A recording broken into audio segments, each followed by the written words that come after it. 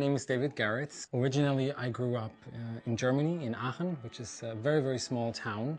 I uh, play the violin since about uh, 22 years now, and uh, I live here in New York.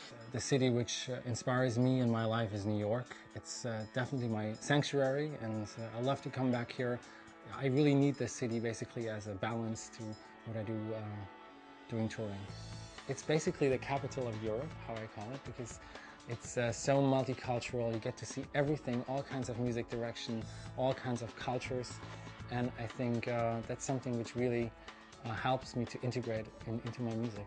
Bars and clubs, pretty much I know the schedule like Mondays is um, uh, Butter, on Tuesdays we definitely say Tenjune, on Wednesdays I would say Beatrice, on Thursdays I would say One Oak, on Fridays, I would go a little bit to Bungalow 8, although it's not anymore as hot as it used to. So definitely then go over to Bijou. On Saturdays, I stay home because I needed a little bit of a break. And on Sundays, I go to Cipriani downtown for karaoke.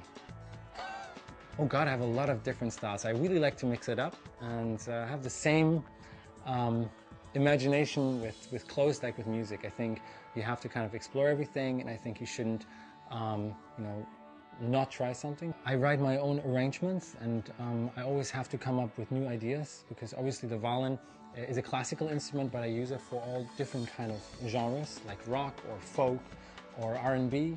So um, the more I listen, the more I get to hear something which I don't know, uh, the more I kind of get inspiration to kind of go in a different direction and I think that's the most beautiful part of it.